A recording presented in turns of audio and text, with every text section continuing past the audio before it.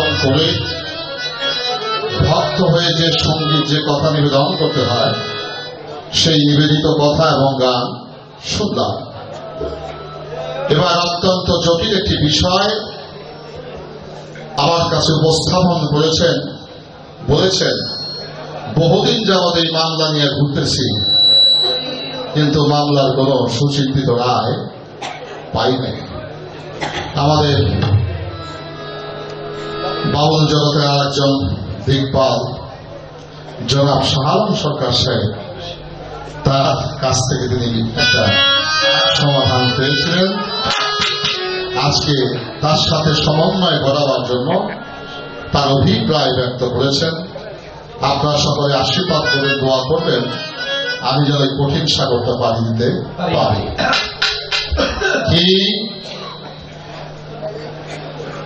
বাঞ্জা নারীর ছেলে বলে, যার বিয়ে হয়নি, তার আবার ছেলে হবে থেকে কিন্তু প্রশ্নটা সেই জায়গায় বাঞ্জা নারীর ছেলে মরে দেহ ঘরে জানতে চায়, মায়ে যে সতীন তারা বাপে পুতে হইল ভাই। মামলা তো এত কঠিন মামলা, জানলে ভাইয়ের কাছে মায় নেই এত কঠিন মামলা যদি জানতাম তাই আজকে আমি আসে আসতাম না গান আমার গাইতো জানতাম এই গানায় গাইবো। সাথে যে, ভাই দাঁড়ায় যান, আমি এসে শুয়ে থাকি। যা হোক, খুব ভালো কথা হয়েছে। কথার মধ্যে একটি আত্মনিহিত বিষয় লুকায়িত আছে। শেষে কি কথা বললেন? মাতাল রাজ্জা বলে কাজলে মরা ঘোড়ায় বাজি মারে। আহ, কত সুন্দর কথা। দেখেন কি সুন্দর কথা গাথনের মধ্যে কি প্রেম দিয়েছে। গানে যাওয়ার আগে ছোট্ট একটা কথা বলি। এক মনি সদাগরি করে। বৎসরে নয় মাস সে দেশের বাইরে থাকে। এই সদাগর একটা ময়না পালতেন ময়নার কথা বলছে না আমাদের কাজল গান সাহেব। ময়নার কথাতেই গান শুরু করব। তো সে একটি ময়না পালতেন তো দীর্ঘদিন বাণিজ্যের কারণে বাড়ি থেকে তিনি চলে যাবেন তার সপ্ত নিয়ে অন্য এক দেশে। যাওয়ার সময় চলে গেছে স্ত্রীর কাছে। গিয়ে বলে, তোমার জন্য বিদেশ থেকে কি আনব? এরকম জিজ্ঞেস করে না বিদেশ যাওয়ার আগে স্ত্রী থাকলে জিজ্ঞেস করে দিল তোমাদেরকে কি আনব? তো স্ত্রী যা চাওয়া তাই চাইছে। বা সুন্দর সুন্দর বেনারসি শাড়ি আর গলার জন্য পাঁচ ভরির একটা সীতা হাত নিয়ে আসব যার যে চাওয়া চাইছে। ছেলেদের বলে জন্য কি আনব বা রঙিন রঙিন জামা কাপড় নিয়ে এসো আমার জন্য গেছে জনম দুঃখী মার কাছে। মাগো, অনেকদিন বিদেশে আমাকে বাণিজ্য করতে সদাগরিত থাকতে হতে পারে। আল্লাহ যদি আনে, তোমার জন্য আমি কিনে আসব, মা। মা চোখের পানি ছেড়ে দে বলে, বাবারে, বাণিজ্য করতে যাবি? আমার জন্য কিছুই আনতে হবে না। তবে একটা অনুরোধ আমার জন্য তো কিছুই আনতে হবে না। তবে যদি আমার ইচ্ছা জাগে, আমার জন্য একটা তসবি ছড়া একটা জায় নামাজ নিয়ে আসিস। আমি সেই জায় নামাজে বসে নামাজ পড়ব আর তোর জন্য দোয়া করব। বলে আর কিছু লাগবে না। বলে বাপরে আমার বুকের ধন বুকের সন্তান যদি আমার কাছে আল্লাহ ফিরত এনে দেয়, তাইলে হবে আমার পরম পাওয়া এর চেয়ে বড় পাওয়ার কিছুই আমার আর এই সদাগর যে ময়নাটি পালত এই ময়নাটি কথা স্মরণ হয়েছে, বারান্দায়। পিঞ্জিরার মধ্যে ভরা ময়না। ময়না কিন্তু বাজার মানুষের মতো কথা বলতে পারে। বলতে পারে না? বলতে পারে। তো ময়না নিয়ে এত সদাগরিতে যাওয়া সম্ভব না। ময়নার কাছে গিয়ে বলছে, ময়না রে, আমি তো দীর্ঘদিনের উদ্দেশ্যে বাণিজ্য করতে বিদেশে যাব। তোর জন্য আমি কি আনব? ময়না দুই চোখের পানি ছেড়ে দিয়ে বলে মনি আমার জন্য তোমার কিছুই আনতে হবে না, তবে একটা অনুরোধ। যদি আমার মতো কোনো ময়না কোথাও তুমি দেখতে পাও, তাহলে তোমার এই পিঞ্জিরার ময়নার সালামটুকু তার কাছে পৌঁছায় এই কথা শুনে সদাগর রওনা করলেন বাড়ি থেকে। সপ্তডিঙ্গা নদীর ঘাটে বাধা। এই নদীর কিনারে আমের একটি বাগান। হঠাৎ করে চোখ পড়েছে সদাগরের সেই বাগানের দিকে। তাকে দেখে একটা আম গাছের ডালার মধ্যে এক ঝাঁক বনের ময়না বসে আছে। সদাগর গিয়ে বলে এই ময়নার দল আমার একটা পোষা ময়না আছে। আমি সদাগরি করতে, বাণিজ্য করতে বিদেশে যাচ্ছি। ওই ময়নাটা তোদেরকে সালাম দিছে। এই কথা বলার সাথে সাথে গাছের প্রত্যেকটি ময়না মরে, মাটির মধ্যে পড়ে লুটিয়ে পড়ে, মারা গেল। সদাগরের মন খুব খারাপ হয়ে গেল। যে আমার জীবনটা এক ময়না সালাম দিতে গিয়ে আমি শত সহস্র ময়নাকে মেরে ফেললাম। মন তার বিভীষণময় হয়ে গেল। মন তার আধার হয়ে গেল। বলে যাত্রা আমার শুভ হয় নাই আমার ময়নার সালাম গিয়ে আমি বনের এক ঝাঁক ময়নাকে মরে ফেললাম। চলে এসেছে পুনরায় সে বাড়িতে, যে আজকে আমি আর যাব না। এসে দেখে দক্ষিণ দিকে মুখ করে ময়না বসে আছে। বলছে ময়না রে, তোকে জিজ্ঞেস করেছিলাম, তোর জন্য কি আনব তুই বলেছিলি, আমার জন্য কিছু আনার দরকার নেই। যদি আমার মতো যান ভাই ময়না কোথাও দেখো, তাকে একটা সালাম দিও। সেই সালাম দিতে যে আমি বনের নিরপরাধ এক ঝাঁক চন্দ্রা ময়নাকে মেরে ফেলেছি। আমি বড় গুণাগার হয়েছি। ময়না চোখের পানি ছেড়ে দিয়ে পিঞ্জিরার ময়না হঠাৎ করে পড়ে মারা গেলেন। সেই মরা ময়নাকে বুকে ধারণ করে সদাগর কাঁদতে লাগলেন। যে বনের জংলা ময়না বলেছিল বলেছিল তেমন দুঃখ ছিল না। সেই কথা বলতেন যে, আমার পোষা ময়নাকে আমি মেরে ফেললাম। দিন ফুরিয়ে যখন সন্ধ্যা হয়ে গেল, এই মরা ময়নার জন্য কতক্ষণ ভালোবাসা থাকে? ময়নাকে জঙ্গলে ছুঁড়ে ফেলেছে। যেই ছুঁড়ে ফেলেছে, সেই ময়না জীবন্ত হয়ে উড়াল দিয়ে গাছের তালায় বসেছে। এবার সদাগর বলে, ময়না রে, তোর সালাম দিতে গিয়ে আমি পরে এক ঝাঁক ময়নাকে মেরে ফেললাম আর সেই কথা বলার সাথে সাথে তুইও মারা গেলি। তোকে নিয়ে সারাদিন কাঁদলাম। অবশেষে তোকে যখন জঙ্গলে ছুঁড়ে মারলাম, তখন তুই জীবন্ত হয়ে উড়াল দিয়ে গাছের তালায় বসলি। ময়নার ব্যাখ্যা কি এর ভাব কি ময়না তখন দুই চোখের পানি ছেড়ে দিয়ে বলে, আমার মনি পৃথিবীতে কেউ যদি বাঁচতে চায়, সে যেন আগে মরে। পৃথিবীতে যদি কেউ বাঁচার মতো বাঁচতে চায়, অমরত্ব লাভ করতে চায়, সে যেন আগে মরে দেখো, মাতাল রাজা কাজলকে বলে, মরা ঘোড়ায় বাজি মারে। কোন ঘোড়ায় বাজি মারে? যে জীবন্ত থাকতে মরার জগতে যেতে পারে, সেই অমরত্ব লাভ সেখান থেকে মারা।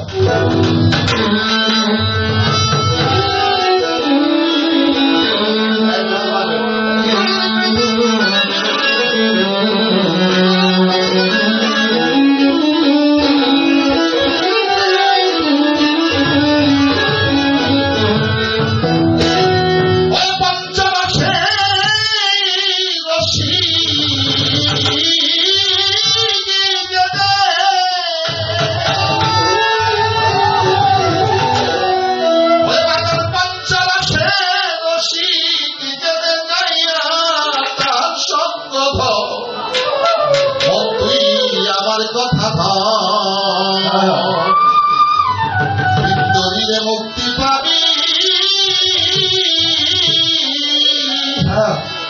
এই দেহ জমিটা যাইয়া গুরুর কাছে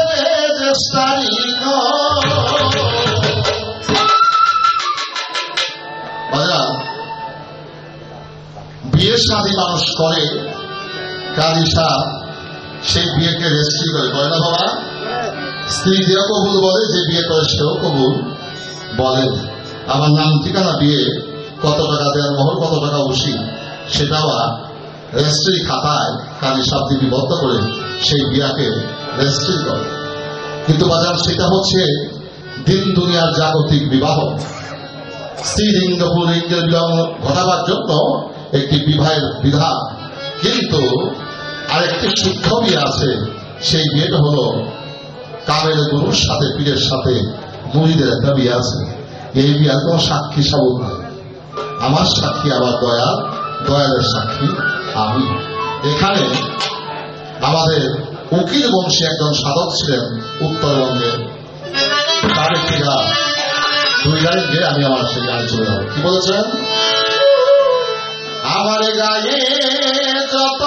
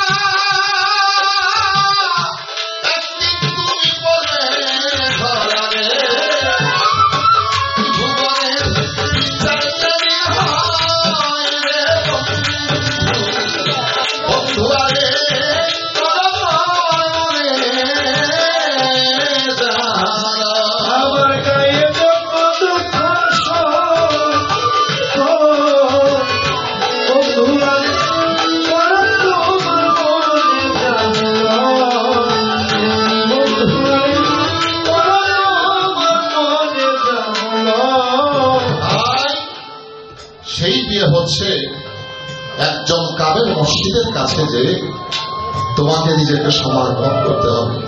সেই বিয়ের কাদির প্রয়োজন হয় না। সেই বিয়ের সাক্ষীর প্রয়োজন হয় না। সেই বিয়েতে দেন মহলের প্রয়োজন হয় না। তাই মালিক সাহ বলেন বলেন।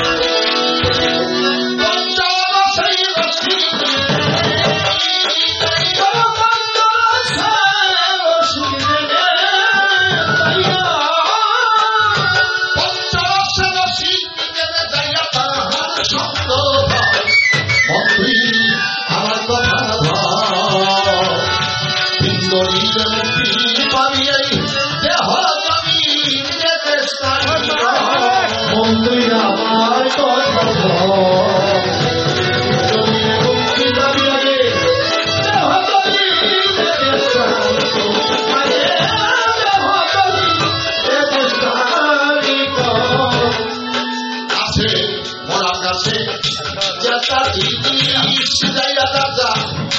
bit, just a little bit.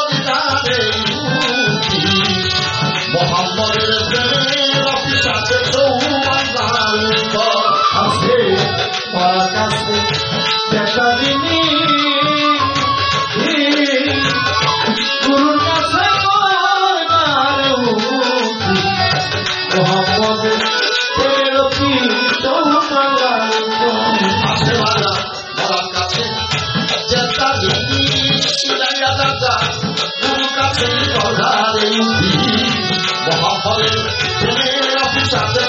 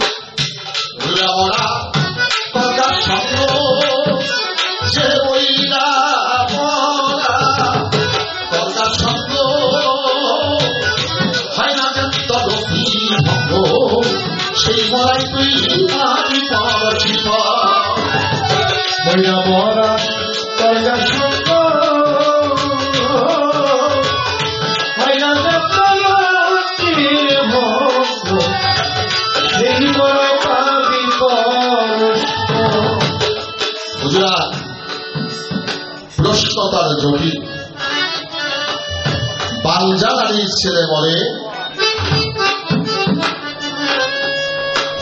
দেহ ঘরে জানতে চাই মায়ের ঝিয়ে সতীন তারা বাপে পুঁতে হইল এই কথাটির মীমাংসা একটা কৌশল অবলম্বন করে আমাকে দিতে হবে। বস্তানগরের অধিবাসী, হাসান বস্তি নাম তাহার ছিল। হাসান বস্তি একদিন রাস্তা দিয়া বাজান হাতিতে লাগিল হাতিতে হাতিতে হাসান বস্তি অনেক দূরে গেদরে চলিয়া চাইয়া দেখে হজরত তাপসী নামিয়া বস্তি বসায় আছে। তার সাথে বিভিন্ন প্রজাতির পাখি খেলা করছে, আনন্দ করিয়া।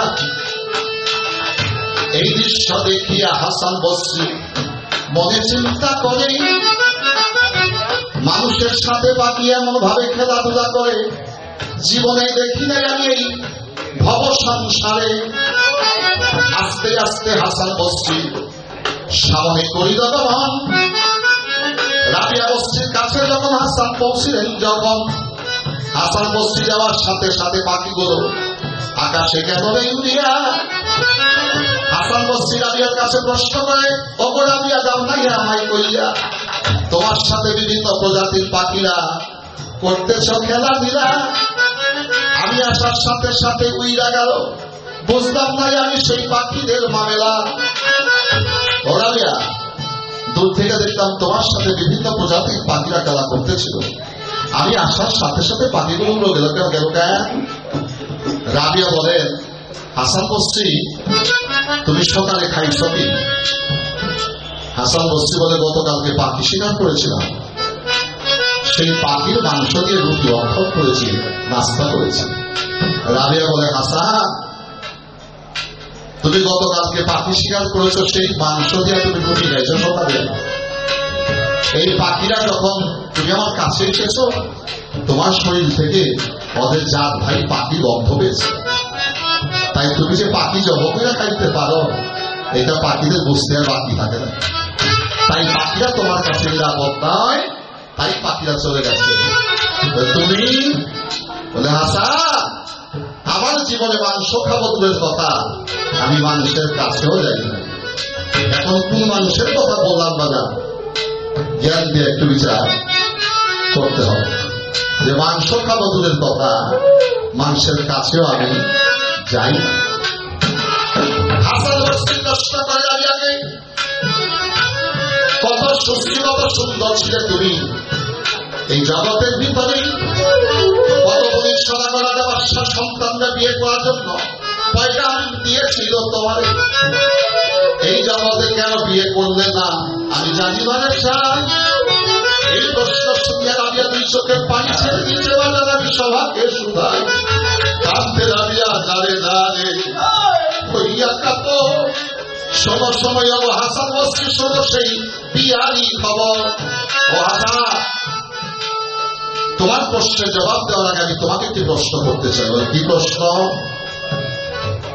বলে একটি তরোয়ারের খাপে কয়টি তরোয়াল রাখা যায় হাসান বস্তি উত্তর দিচ্ছেন একটি তরোয়ারের খাপে একটি মাত্র যায় রাবিয়া বস্তি দুই চোখের পানি ছেড়ে বলতে লাগলেন, হাসান, একটি মাত্র খাপ আমার।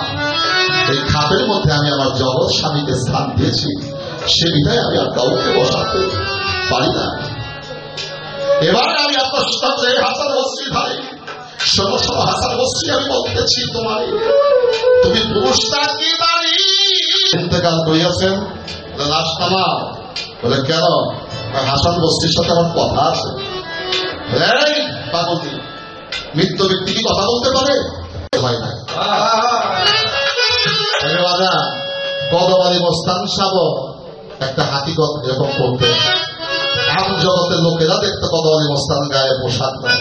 কিন্তু কদমালি মোস্তান যে পোশাক পরিধান করেছিল, এই পোশাক সবার ভাগ্যে বাজা জুটিবে তাই কি বলিব কি বলিব, কাজল ভাই? আমি দিচ্ছি তলে কইয়া মহিলকে যত পোশাক পরিধান করো, মনের পোশাক পরিধান করার জন্য মুর্শিদের কাছে যাইও করিল কাছে তুমি যাইয়া সেই যদি একবার জীবনে পারো। এই দেহেতে সফল হইয়া যাবে তোমার মানব জন এই তো তারা কথা সবাই হইল পরিষ্কার। কথা জিজ্ঞেস করে দিল চমৎকার।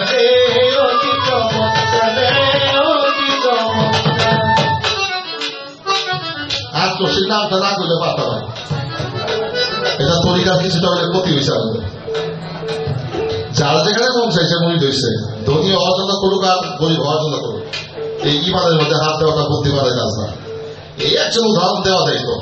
আর তো সেই কাছে লক্ষ লক্ষ লোক মুড়ি ধরতে ম্যাক্সিমাম লোক ধরছে তাদের অবস্থা ব্যবস্থা ভালো হওয়ার জন্য হতে পারে। হতে পারে। অবিশ্বাসের কিছু হতে পারে। তো আমার কাছে প্রশ্ন করে যারা মুড়ি ধরে গরিব হয়ে তারা কি আত্মশিক্ষা মুড়ি দিতে পারেনি? তবে